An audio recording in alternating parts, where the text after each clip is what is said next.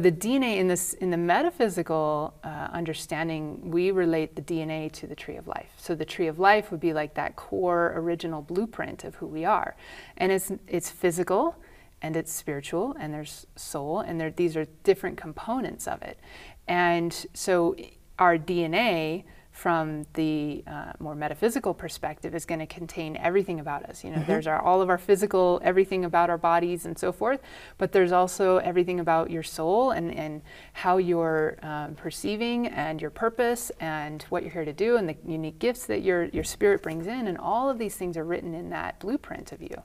And so every time that we work with the tree of life, it's communicating to your DNA because that tree of life is actually the scaffolding or the sacred geometry that, that governs the construction of the DNA double helix, right? So if you take tree of life upon tree of life upon tree of life upon tree of life, it builds up that ladder. Mm-hmm. And then you just give it a, a right handed clockwise twist, and then you have your, your, your two strands of your double helix. And then right down the center core of that is all this light that runs. So it sounds like what hasn't been recognized is this is a multidimensional expression. Mm-hmm. And because they're only looking for DNA in the material, third dimensional Chemical. realm, you can't see the rest right. of it. Yeah.